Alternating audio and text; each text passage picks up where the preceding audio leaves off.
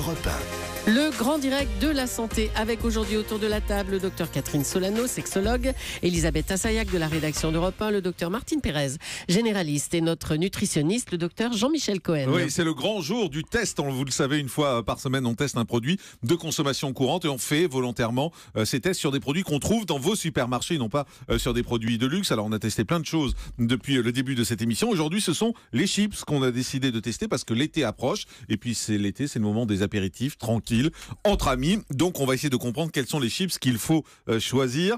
Euh, Je pense à mon week-end dernier et au prochain. C'est pour ça, docteur Cohen, je vous vois vous marrer.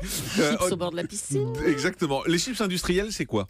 En fait, c'est de la pomme de terre qui a été tranchée en fines lamelles, qui est plongée dans de l'huile, ça la déshydrate un maximum, et vous arrivez à un produit qui est craquant, fait à base de pommes de terre, et totalement imbibé d'huile. Vous allez voir les compositions. C'est un produit qu'on pourrait résumer en disant euh, c'est essentiellement euh, la graisse et le sel qui flattent le goût et qui donnent envie d'en reconsommer. Il n'y a pas énormément d'ingrédients donc? Ah, ça dépend des chips. Alors, euh, quand vous allez taper dans les chips haut de gamme, vous avez des produits qui sont tout à fait purs, je dirais, avec de la pomme de terre, de l'huile, et puis derrière, juste du sel. Et puis, de temps en temps, on peut fabriquer des produits plus compliqués, plus raffinés. On le verra par exemple avec les Pringles, Pringles, ouais. où là, c'est une composition à base de pommes de terre, mais dans laquelle on met plein de choses. Et puis surtout, dans certaines huiles, on va retrouver, autre... dans certaines frites, on va chips, on va retrouver autre chose. C'est-à-dire qu'on peut retrouver des arômes, des exhausteurs de goût, mais à la limite, ça fait partie du jeu de l'industrie alimentaire à l'heure actuelle. on va tout de suite poser la question que tout le monde se pose. Est-ce qu'il faut fuir les chips? Alors, Serog a répondu euh, il y a quelques instants, il n'y a pas de produit interdit en alimentation, il y a juste un contrôle de la quantité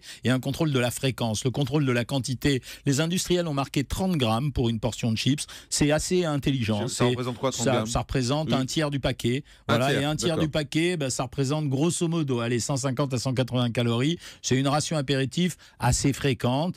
Euh, c'est ce qu'on pourrait consommer, mais au-delà des 30 grammes et deux fois par semaine trois fois par semaine, on est dans l'excès. On va rentrer dans le détail hein, avec tout- toutes celles qu'on a là, mais globalement, quand on achète des chips, qu'est-ce qu'il faut regarder sur l'étiquette? Il faut regarder la quantité de pommes de terre, la qualité des huiles. qu'est- Qu'est-ce qu'on le regarde? taux de matière grasse, il y a deux choses à regarder. Le taux de matière grasse et la quantité de sel. Le taux de matière grasse parce qu'il est indicatif en réalité de la vraie valeur calorique du produit. Et le taux de sel parce que quand c'est très très très salé, c'est très très très addictif. Et en même temps, c'est un produit qui va appeler à la consommation d'autres produits. Donc on essaye de prendre des chips un peu moins salés, quand ça existe d'ailleurs. Et on essaye de prendre les chips les moins grasses possibles avec des huiles de bonne qualité. Il y a de plus en plus des chips avec des goûts.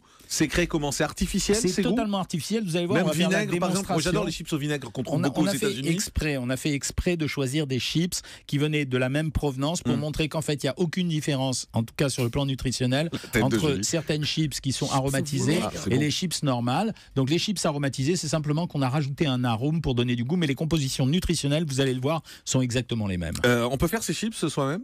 Euh, c'est compliqué, c'est galère. Ça sera sûrement un peu meilleur parce que vous allez obtenir, vous obtiendrez pas un dessèchement complet, donc vous allez obtenir un produit qui est intermédiaire entre la pomme de terre en lamelles et la chips que vous connaissez traditionnelle. Ça peut ne pas être mauvais. Alors, on va commencer notre test. On commence avec euh, les Lays. C'est des chips à l'ancienne nature. Sur le paquet, il y a écrit, hormis toujours aussi savoureuse, il y a écrit sans huile de palme, sans colorant artificiel, sans conservateur. Franchement, elles sont super bonnes. Moi, c'est parmi mes Voilà. Bah, c'est préférées. les anciennes, Donc, les chips à l'ancienne, euh, c'est les quand meilleurs. Jean-Marc Morandini apprécie un produit, vous savez que c'est le plus riche d'entre eux. Ah, Donc zut. euh, les, les chips à l'ancienne, elles ont pour particularité d'être plus riches que les autres. Elles sont à 39% de matière grasse, 39 grammes de graisse pour 100 grammes, c'est-à-dire 4 cuillères à soupe d'huile pour un sachet comme ça, 585 calories. Ce sont les plus riches du marché. Alors elles sont délicieuses. Pourquoi? Parce que Elisabeth, euh, c'est une bonnes chips qui est vraiment... On fait un petit tour sur, les Ah ouais, goûts. elles sont très bonnes, elles sont très bonnes. délicieuses. Mais ce que vous aimez, vous savez, je l'ai déjà expliqué, je pense, c'est la graisse, Ouais. ça exalte le goût et le sel, c'est pas mauvais. Donc quand vous exaltez le goût du sel,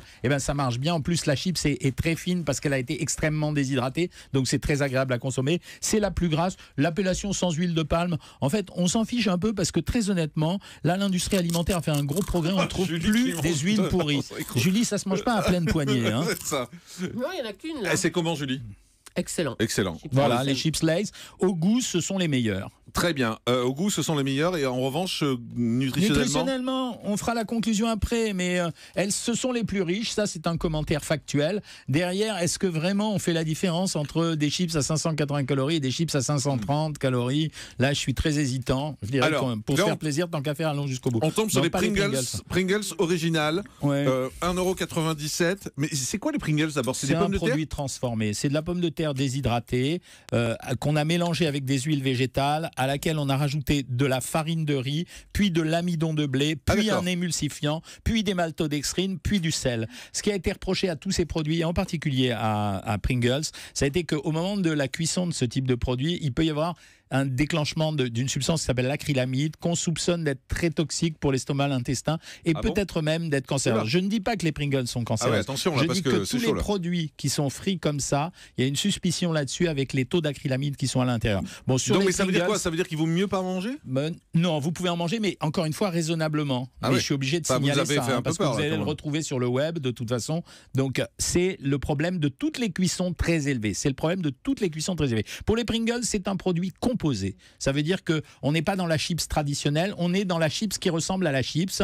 Alors le produit est très addictif parce que la forme est très. Oui, mais la forme, vous êtes tellement banalisé sur le produit, vous êtes Ouais. tellement habitué à ce Ah, produit. vrai Mais l'engueulez pas, est la pauvre- Non, non, je l'engueule pas. Non, mais ce sont mes pas. préférés, les Pringles. Non, non, mais vous, ce que je vous explique, c'est qu'en fait, vous avez créé une accoutumance au produit et c'est pour ça que ça marche si bien. C'est à peu près comparable en termes de valeur calorique à toutes les autres, un peu moins gras, beaucoup moins gras d'ailleurs que les autres, euh, 15% de moins Ah, que les. c'est moins gras que des Ah, chips. C'est moins gras que, les chips Lay's. C'est 516 calories au 100 grammes. Ça se classe plutôt dans la catégorie en dessous de la quasi-totalité des chips, sauf deux qu'on va voir dans très peu de temps. Et, et le fait qu'il n'y ait pas de pommes de, qu'il y ait moins de pommes de terre dedans, ça a un intérêt Oh, franchement, les taux de pommes de terre et les, les taux de glucides, puisque c'est les pommes de terre, les taux de protéines dans ces produits, ils sont quasiment équivalents de l'un à l'autre. Donc là, on est vraiment dans l'affaire du goût. Voilà. Alors ensuite, on, on va tester les Lay's. Alors c'est des Deep Ridge. Je sais pas ce que ça veut dire. Saveur barbecue. Alors il y a écrit deux fois plus ondulé. On a envie de leur dire ça, on s'en fout que ce soit deux fois plus ondulé. On veut savoir si c'est bon. J'ai goûté. Bof. Voilà, moi des saveurs Voilà, barbecue, bon, bah, j'en ai goûté des meilleures euh, saveurs barbecue. Valeur calorique, c'est- elles font partie des, des moins, des moins riches. hein. Ouais. Donc euh, ça veut dire c'est Lay's qui fabrique un produit très riche d'un côté avec des chips à l'ancienne, et là qui fabrique un produit moins riche avec celui-là. Ouais, mais le, le problème, composition- c'est que les, les premières sont beaucoup, euh, beaucoup plus goûteuses que celles-là. Alors pareil, on retrouve les mêmes, euh, les Pas mêmes, terrible. la même Non. catégorisation qu'utilise Lay's, c'est-à-dire sans huile de palme, sans colorant artificiel, sans, sans aromates, etc. C'est simplement la forme qui a été donnée à la pomme de terre qui a changé, le mode de cuisson, et comme il y a moins de graisse, ça veut dire que ça a frit moins longtemps. Donc on est plus dans une pomme de terre déshydratée, moins grasse. Alors là, elles sont moins grasses, elles sont un peu moins caloriques, elles sont exactement euh, le goût, est, le comparables aux goût est autres. vraiment pas top. Voilà, C'est mais trop c'est les bases aromatisantes qui Ouais. sont pas. C'est des bases aromatisantes, ça a été fait exprès. C'est-à-dire qu'ils ont cherché un arôme particulier. Donc vous avez une palette fort. des arômes, ils ont choisi celui-là. Euh, Elisabeth Assayag, c'est C'est comment? c'est trop artificiel. euh, Ouais. le- Catherine? le. Moi, j'apprécie pas tellement. Docteur. Pérez? J'ai pas du tout Mais- non plus. Ah bon, Mais bah, c'est d'accord. Exactement ça. La base aromatisante qui est celle du barbecue, là, elle ne vous plaît pas. Ouais. Mais euh, ils ont choisi d'élargir leur gamme vers une catégorie de produits différente. Bon, donc Lay's euh, gagnant sur les chips à l'ancienne, en tout cas pour le goût, parce que nous on Ouais, juge ouais, que le goût et vous jugez la qualité. faite, hein. Et en revanche, les dips machin barbecue, on s'en fout, c'est pas bon.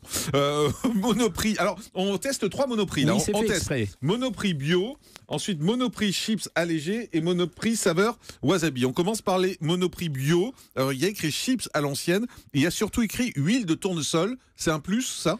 Euh, oui, c'est un plus. On préfère utiliser les huiles de tournesol, les huiles de colza à des huiles végétales comme euh, palme, copra ou coco.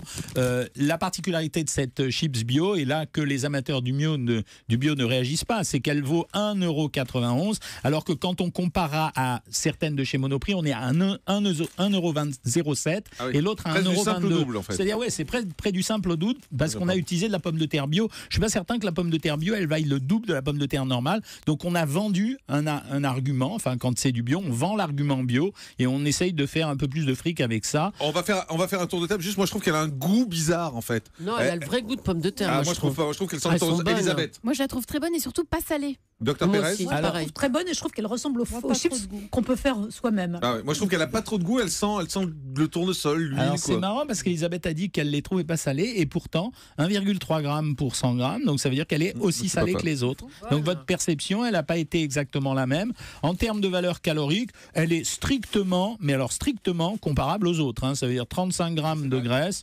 540 allégé, il y a calories. Voilà. Non, non, ça c'était les chips, euh, les chips Ah non, c'est bio, c'est bio. Ah oui, les bio. faut pas confondre bio et allégé, d'accord. Là, on passe aux, aux allégés. Alors, chips allégés nature, 30% de matière grasse en moins. Alors déjà, je voudrais savoir ce que ça veut dire 30% de matière grasse en moins. Ça veut dire il y a dans le produit final 30% Ben de ouais, matière il y a 30% en moins, 35 grammes pour 100 grammes pour les chips traditionnels, 24 grammes pour celles-ci. Donc le produit est clairement moins gras. Donc ça veut dire que le produit est un peu, un Ça peu moins ressent pas.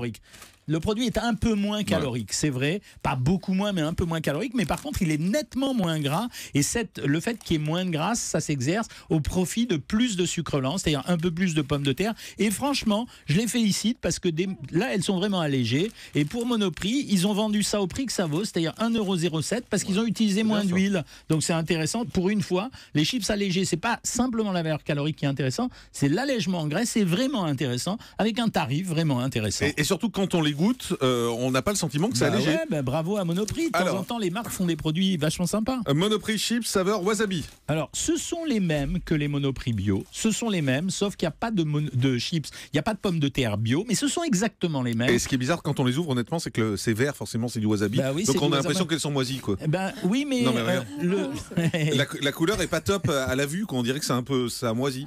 Oui. Alors le problème, c'est qu'elles sont vertes. Vous savez pourquoi elles sont vertes? Pas parce qu'elles sont vertes parce qu'il y a du wasabi. Elles sont vertes parce qu'il y a un complexe cuivrique Mmh. de chlorophylle à l'intérieur. Ah, C'est-à-dire qu'en fait, pour vous donner l'illusion réelle d'avoir du wasabi, on a coloré la chips et en même temps, on a Ah. utilisé un arôme artificiel qui est un arôme wasabi. Donc, on a utilisé les mêmes chips que celles qui étaient bio. On a pris de la pomme de terre non bio, on a rajouté un colorant pour que ça soit vert et on a rajouté un arôme pour que ça soit wasabi. Mais il n'y a Ce pas de vrai wasabi mêmes. dedans? Non, il n'y a pas de vrai wasabi dedans. Quand on regarde la composition, il y a assaisonnement, il y a écrit saveur wasabi. Voilà. Mais donc, il n'y a pas de wasabi à l'intérieur. C'est saveur, c'est un assaisonnement, Ah ouais. c'est un- une aromatisation. Juste, il nous reste une minute pour euh, les Tyrell. Ah, j'ai acheté ça euh, dans la station-service euh, samedi. Euh, Tyrell avec Crips.